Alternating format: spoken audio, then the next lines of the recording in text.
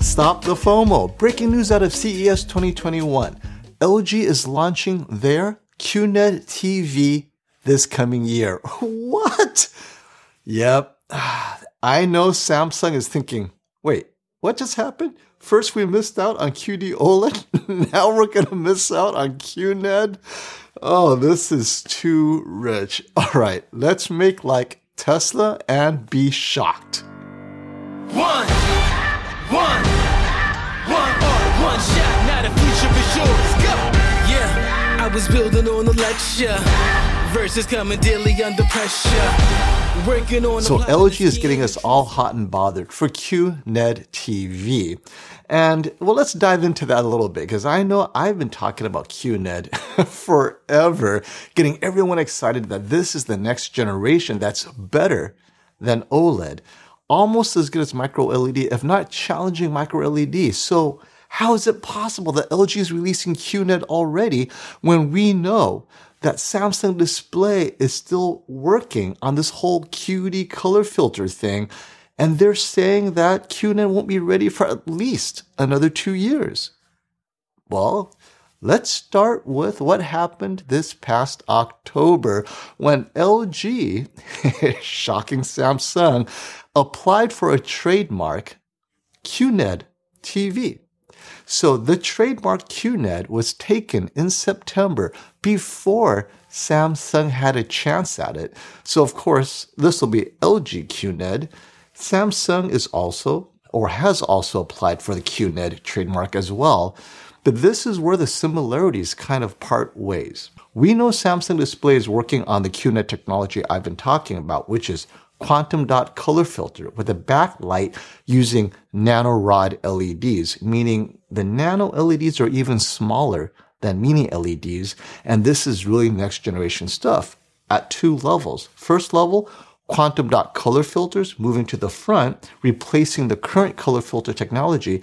And the second part of this next generation is using nanorod LEDs, which are way smaller than mini LEDs that we hear about today. LG is not using this. LG's QNED stands for, you ready for this? Quantum dot nanocell mini LED. Yes, it's not quantum nanocell nanorod that Samsung Display is using. This is truly good stuff that we're not going to see for a few years yet. What we're going to see next year from LG's QNED is quite simply a mini LED TV using, and this is the part that really hurts, and I'm hoping I'm wrong, but it feels like they're using existing LCD panel color filter, nanocell slash quantum dot. But at the end of the day, I get a bad feeling it's still an IPS panel. And we're going to go into why this is a bad thing shortly. But I just wanted to make sure that on the one hand, the name QNED is quite exciting, right? It stirs a lot of excitement in the soul because, well, it's QNED, but it's not the QNED I've been promoting as next generation stuff. This is just LG's way of saying, hey, we have mini LED and uh, we're using nanocell LCD color filter like we've been using before. So if you combine nanocell and mini LED and some quantum dot crystals, uh, we can call it QNED which ultimately is nothing more than mini LED backlight with LG's existing LCD color filter in the front, and maybe there's a sprinkle of quantum dot somewhere there, but it's not in the color filter. I, it is most likely the quantum dot is in the what we call the enhancement film layer, which is what's being used now by Samsung, TCL, Sony, everybody else, right? If there are quantum dots to be used, it is in the backlighting. Nobody has yet released a product where the quantum dot is in the color filter, and that's what QD OLED promises. So when you hear QD OLED or Samsung's QNED, that is when the quantum dot makes its way to the color filter. So let's dive into LG's QNED. Not to be confused with Samsung's QNED, which is still about two to three years away. Okay, first and foremost, their best implementation of the QNED technology, meaning maximum dimming zones, maximum mini LEDs is reserved for their larger sizes. Let's just say 86 inch. So let's pull out the 86 inch 8K QNED from LG. It will have 30,000 mini LEDs, but more importantly, 2,500 dimming zones on the 86 inch size. That's about 29 dimming zones per inch. In contrast to TCL's 8 series that was released uh, a year and a half ago, that had 1,000 dimming zones on a 65 inch, which is about 15 dimming zones per inch. So this is almost double the number of dimming zones. That's great news. So what does this mean ultimately? So there are two things we have to be aware of. First, if this 86 inch QNED uses LG's existing IPS panel rather than a VA panel, you'll have better shadow detail and you won't have the black crushing that the 8 series was known for. However, you might not get the same deep blacks that the VA panels are known for, but we don't know.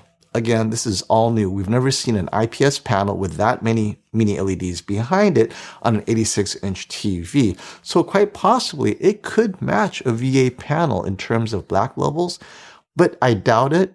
And I'll tell you why shortly. But let's just say for the sake of argument, shadow detail will be great. Maybe black levels will be slightly lifted, but then you're not going to have black crushing. So on the 86 inch size with that many mini LEDs also, it should be significantly brighter. And this goes to the biggest shortcoming of LG's current nanocell TVs, which is they're a bit dim.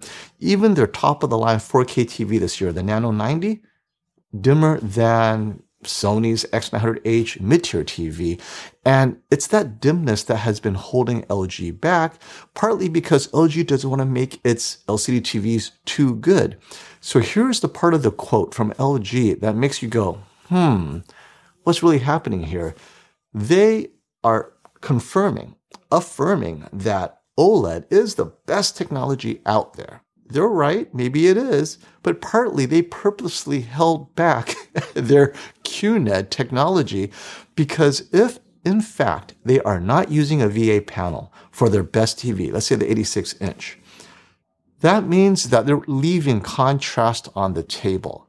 With a VA panel, we know for a fact that your deep blacks is actually a match for the LG OLED. And I'm using the Hisense H9G as an example, as well as the Q900TS. Both of these TVs, VA panel using quantum dot slash very, very good backlighting system, their blacks in many scenes easily indistinguishable from OLED 80% of the time, right? So the 20%, yeah, the OLED looks better, but let's say 80% of the time. Now imagine you take that VA panel and you put 30,000 mini LEDs behind it plus 2,500 dimming zones. Now, how good does this TV look? And I bet you they tried it and they're like, whoa, this looks better than OLED. Oh, we got a problem. Because on the one hand, so you guys tell me what you think about this. If LG did some testing and they found that they actually made this TV look better than their 77 inch 4K OLED, brighter 95% of the time. Yes. And the 5%, you're always going to have OLED look a little bit better in some of those challenging scenes where self emitting pixels will always be superior to contrast enhancement zones or dimming zones or mini LEDs.